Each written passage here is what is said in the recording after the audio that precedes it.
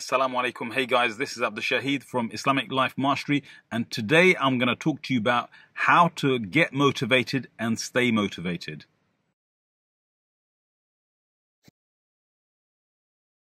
Like, the motivation is one of the key factors to the success of any person.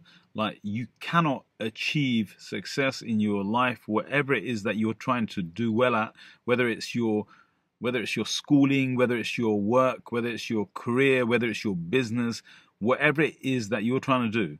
And the thing that affects your plan the most is your level of motivation. Like one of the things I have, uh, one of the things I've encountered uh, myself in my own life, and at the same time with uh, the people that I, I, I speak to, is that you know motivation is up and down. Like it wanes. Sometimes it's really strong. Sometimes it's really uh, it's really weak.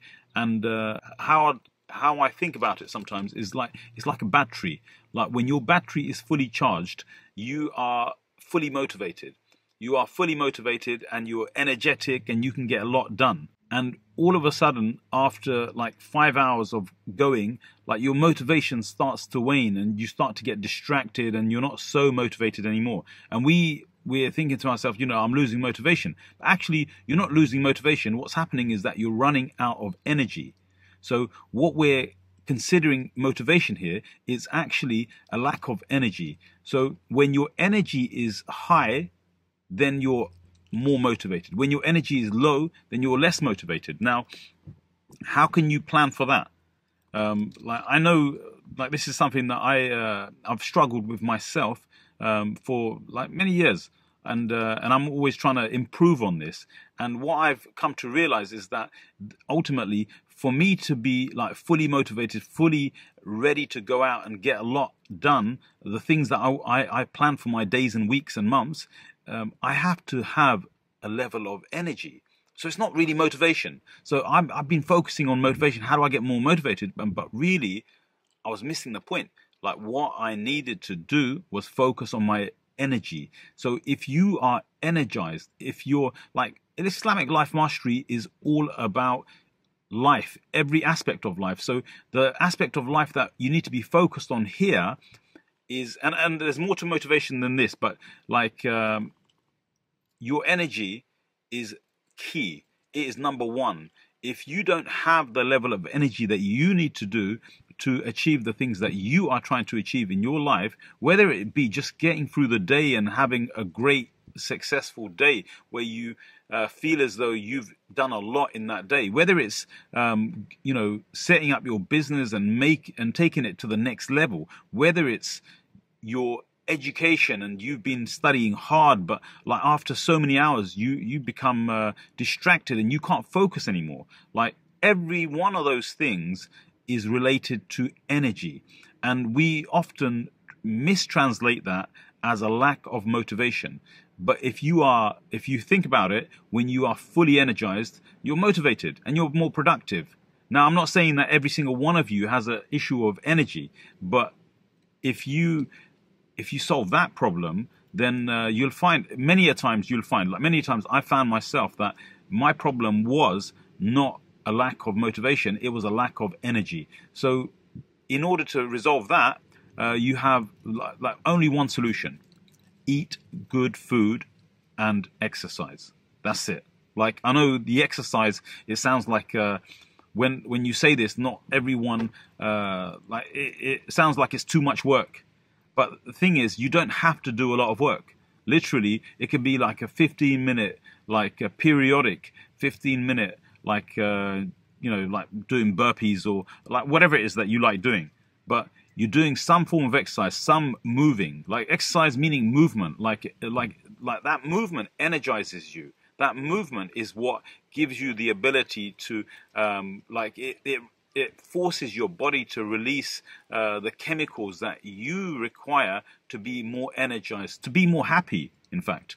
So if you are doing the movement but you're eating rubbish food, then you have a problem. Or if you're eating good food but you're not moving enough, then you also have a problem.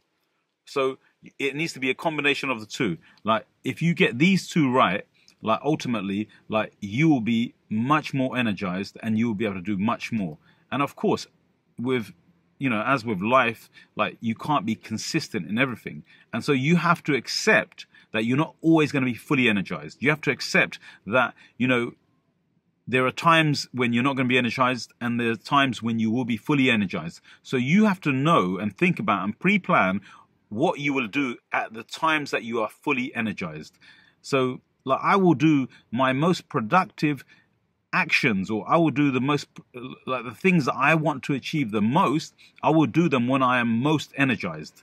And then I don't have the excuse of I haven't got motivation. I have got motivation because I made these plans because I'm motivated to get these things in my life. But in order for them to happen, I have to do it at the most optimum time. So I mean, there's a lot more to motivation. Inshallah, I'm going to be talking about motivation in the coming videos.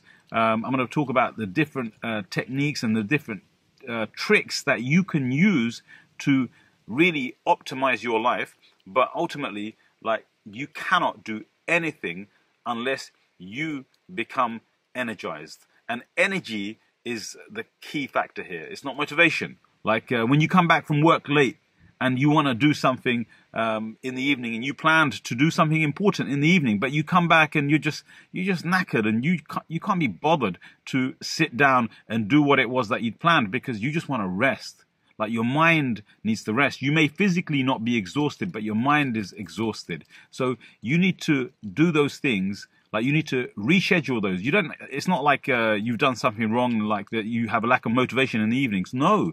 Like what you need to do is you need to allocate a time for that when you are more energized. So if if you are more energized early in the morning, then fit it in early in the morning. Like wake up like half an hour earlier. You don't have to make it like three hours earlier. Wake up half an hour earlier. The key is get started.